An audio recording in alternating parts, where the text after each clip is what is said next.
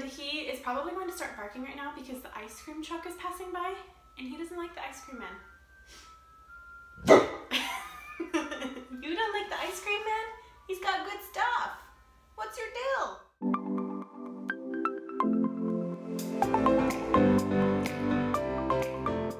Hey guys, welcome back to my channel. If you're new here, my name is Des and I make beauty and lifestyle videos on this channel. Today's video is going to be super different.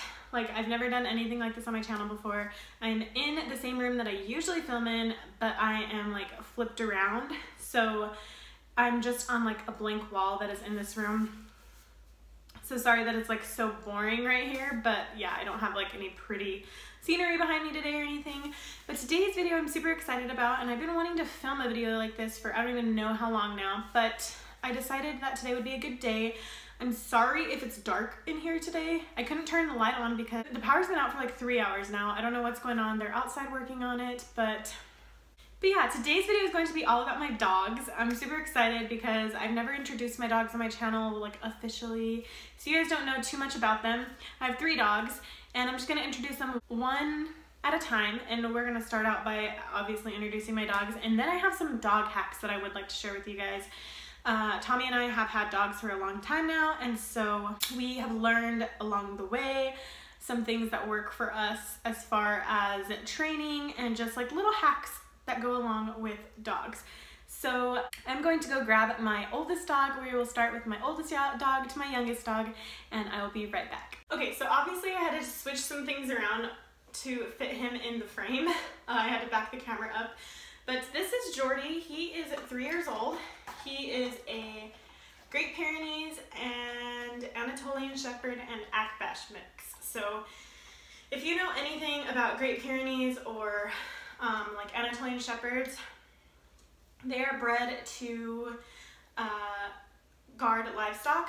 And obviously Jordy doesn't live on a farm, but he is our house dog. He was mine and Tommy's very first dog. I will insert in a picture of Jordy when he was a puppy because he was the cutest puppy ever.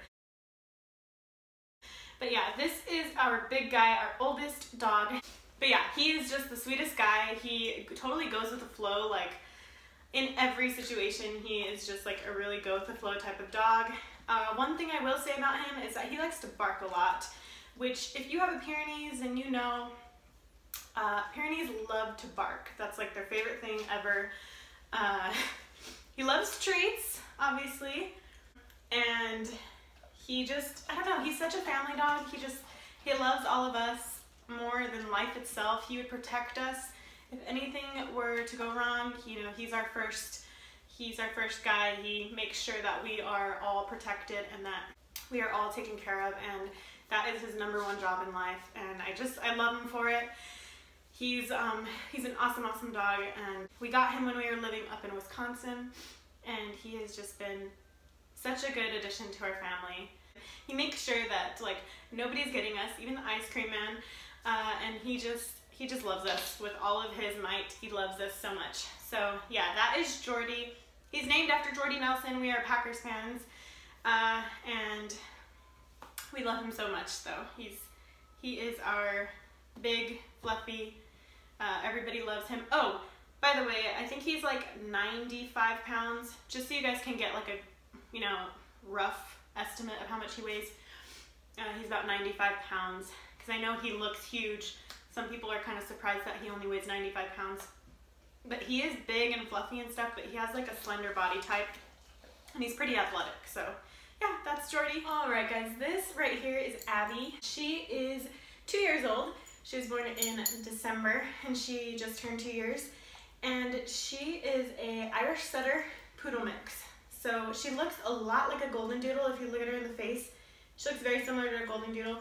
And we went to go, when we went to go get her, I was originally wanting a golden doodle. The breeders that we went to, they had golden doodles at the time for sale. And I saw these, these dogs, these Irish Setter Poodle mixes, and I was like, those dogs are gorgeous. And so we got her and she is just a sweetheart too. Yeah, she is about 45, 50 pounds. So she's like a medium sized dog. She's not too big, not too small. Abby is named after if any of you guys know the singer Noah Gundersen, Tommy and I are huge fans of Noah Gundersen and his sister's name is Abby Gundersen, and we are also huge fans of Abby Gundersen. I mentioned Noah because Noah, you know, he's more known, I guess, mainstream wise. Abby's not as known. And when we were thinking about names, we were thinking of like, we were trying to go off of like Packer players as well. And there used to be a player on the Packers with the last name Abbrederis. Abbrederis, I think that's how you say it. Uh, and we were gonna name her, you know, Abby after him, but then we were like, well, Abby Gundersen, like she's one of our favorite artists right now, and you know, we really like Noah Gundersen, and so that is kind of where we got Abby. Like she's not specifically named after anybody in general. We really liked the name Abby, and she just fits her name so well. This little girl, she likes to get into trouble. Is that like she's the sweetest little thing? Obviously, she's she loves to cuddle and she loves to be by us, but she loves to get in trouble. She just searches for trouble. She today I walked out in the backyard to check on my puppies before I left the house for a little while, and she was in our neighbor's yard. She was just hanging out in their backyard with their dog, and so she eventually got out of the backyard and stuff, but she's just always looking for things to do. She, she likes to steal Sawyer's diapers, and she likes to, she just likes to just get into trouble. So she likes to jump into our puppy's uh, kennel and steal his food. And yeah, she's just she just likes to get into trouble, like I said. But this is Abby, and she's our she's our only little girl that we've got right now. She's just surrounded me and her are just surrounded by all the guys. So yeah. Alright guys, last but not least is our newest puppy. We just got him two weeks ago, I think. His name is Petty, and uh, he is a St. Bernard. St. Bernard English Mastiff Pit Bull mix, I think. I think I got that right. Mostly he is English Mastiff, but he has some St. Bernard in him and he has some Pit Bull as well. Um, let me show his face because you can definitely tell kind of what he is by his face. So this is Petty. He is, I think he's like 12 weeks now, 11 weeks. I think he's 11 weeks tomorrow. But uh, he is a puppy, obviously. And if you if you've ever had a puppy, you know that they are hyper and they're crazy and they just love to get into trouble and love to be everywhere, love to learn new things, see new things. So he is going to be a big boy. When we bought him, he was 21, 25 pounds and he was 10 weeks. So he's going to be big. I don't know if you guys can see his paws. They're huge. Sorry, to get you? His paws are huge. And uh, so he'll probably be bigger than Jordy. And his name, Petty, comes from, um, Tommy is a huge, huge fan of Tom Petty. And if you haven't been living under a rock, um, this last year Tom Petty actually passed away. And Tommy actually got to see him perform live in uh, Dallas, I think, or Austin, one of in Texas somewhere uh, for his birthday back in May. And so he just really, really, like, he grew up on Tom Petty. He really loved Tom Petty. And so um, we went ahead and, and named him our new baby. We named him Petty after Tom Petty. And it went, it fit like the Jordy Abby Petty, got the Y ending and stuff. So, and he is just, he is, his personality hasn't really shown too much, but I think Right now he's pretty hyper, but usually he's pretty chill. Like he doesn't really do much all day. He just sleeps out with the dogs. He loves to cuddle. He loves to give kisses. And yeah, that is Petty. Alright guys, so Sawyer is gonna join us for the end of this video. Uh, he just woke up from his nap and I just had to finish up this last little bit of the video which was the dog hacks that we've learned like over the years. Like I said, we've had dogs for many years now, and so I wanted to share with you like some of the things that we've just learned over the years. The first thing that we learned with Jordy specifically, we learned that it is super useful to have these types of bowls. Um, his is super dirty right now because we haven't cleaned it in a while, but these bowls um, will slow down your dog from eating too fast. Jordy used to eat so fast, like when we first got him and whenever he was still, you know, like a teenager or whatever, he would eat so fast, he would just, uh, he would just want to eat and eat and eat and eat. Should we start your own YouTube channel? Um, but yeah, those slow feeder... If you have a dog that loves to eat fast, get one of those bowls. You will not regret it. With Jordy, he actually, we got that bowl when he was still a little puppy and he's had it ever since. But yeah, those bowls are awesome. And I'm sorry that Sawyer wants to talk when I'm talking. He's learning to do things as we do them. The second thing I wanted to mention, and I'm just gonna show them real quick because Sawyer's gonna want them, but these are called Kongs. This is a huge Kong, and this one is actually, it sits down on the ground and it kind of like rocks around, and there's food inside of it. I don't know if you guys can hear it, but there's food inside of it. And it's perfect for puppies, especially like, again, if you have a fast eater, these things will help a lot with that. You can just fill up their food in here, and then they'll, they have to knock it over in order to get the food out of the little hole. So these things are perfect, like I said, for puppies or for big dogs who eat fast. Now this is a popular like looking Kong. This was Abby's whenever we first got her and now Petty is using it. Uh, these things you can stuff them with peanut butter, with um, dog treats, with dog food, with chicken broth. You can fill these things with literally anything that is safe for dogs to eat. It just kind of gives them something to play with, something to like look forward to. If you're gonna be gone from the house for a long time, you work long hours, buying your dog one of these and, and freezing it at night and then giving it to them during the day whenever you leave is like, there it will be their favorite thing, I promise. You can also, like these things are kind of pricey. Uh, if you have multiple dogs and you don't want to buy like three Kongs or whatever, uh, you could always do the same thing with the tennis ball. Just get a tennis ball and then like cut a little hole in the tennis ball where they have to like kind of squeeze it in order to get it out. Next thing I wanted to talk about was head halters, and these are what ours look like. They are, so basically they look like this. They go, this part goes on the dog's nose, and then the clips clip around the dog's neck. So basically all it does is, it's almost like, it reminds me of like a horse halter, how it goes around their nose, and they can't pull you too hard. Uh, if you have a dog that pulls, the head halters will work perfect. So yeah, um, those are head halters. The last thing that I have that I wanted to share with you is poop bags. Buy poop bags. Buy lots of poop bags. Nobody gets on people's nerves more than people who take their dogs for a walk, their dog poops, and then they don't pick up their dog's poop. Pick up your dog's poop. Like, if I have any advice for you, when you get a new puppy, pick up their poop when you're on a walk. Please pick up their poop. It is so important. Um, you don't want, like, like obviously you don't want to be walking down the road and step in dog poop. Like it's so annoying. So just pick up your dog's poop. Don't forget your poop bags when you leave with your dogs and uh, and everybody will be happy. The next thing that I wanted to share or talk about was a thunder vest. I could not find our thunder vest. I don't know what Tommy did with it. If you have never heard of a thunder vest, they are just these vests that kind of, it's kind of like a harness almost, but it's like a whole, almost like a sweater kind of.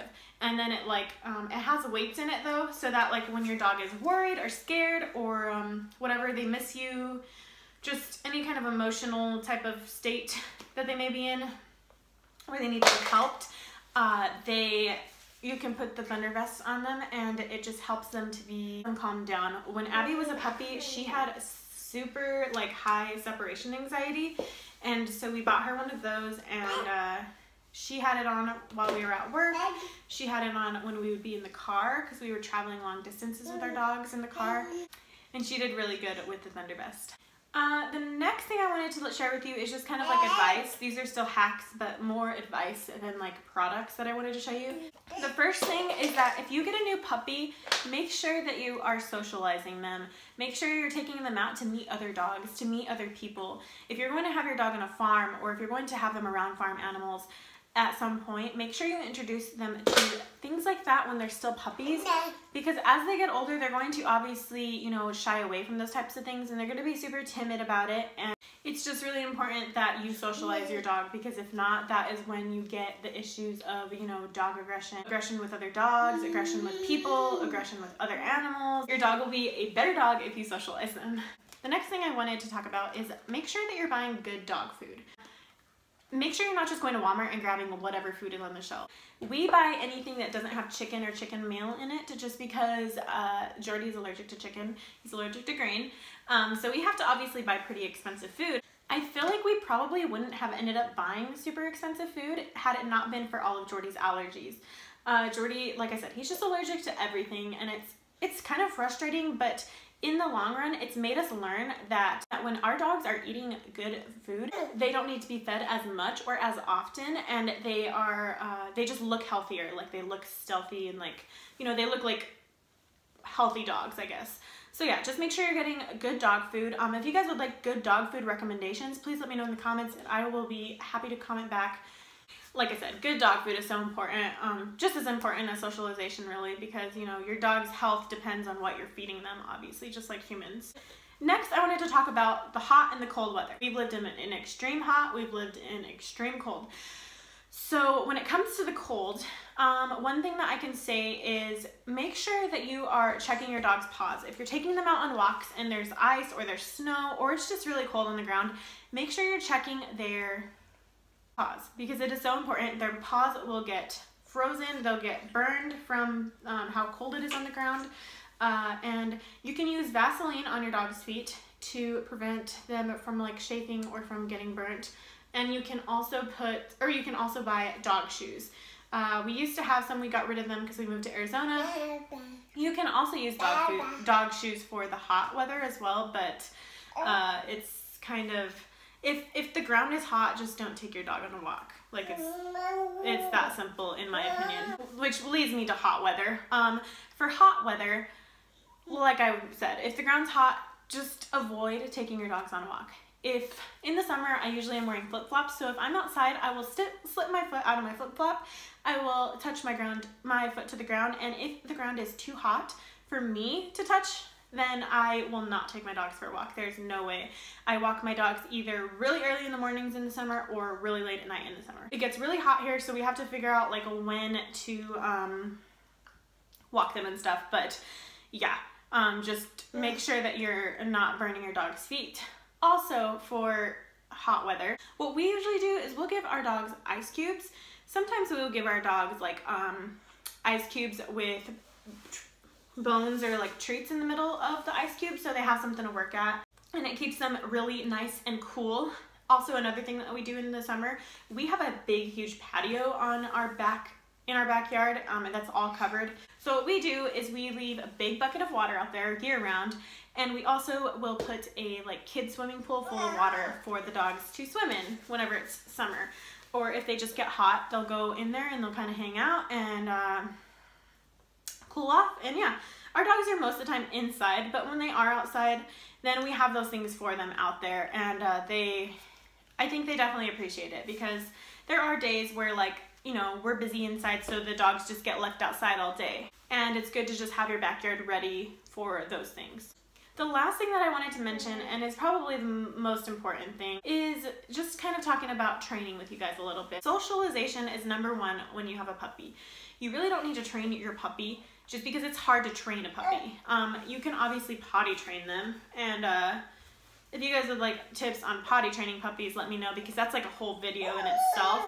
But uh, make sure that you get your dog enrolled in some kind of training program as they get older though. Um, it's, it's really important that they are learning doggy manners and that they are getting that socialization. Like even if you're going to training strictly for the socialization, it's worth it. Um, if you have a Petco, PetSmart near you, or if you have like somebody local that does the training for you there, definitely sign up and uh, keep your dog in it as long as, as they'll let you because it's really important.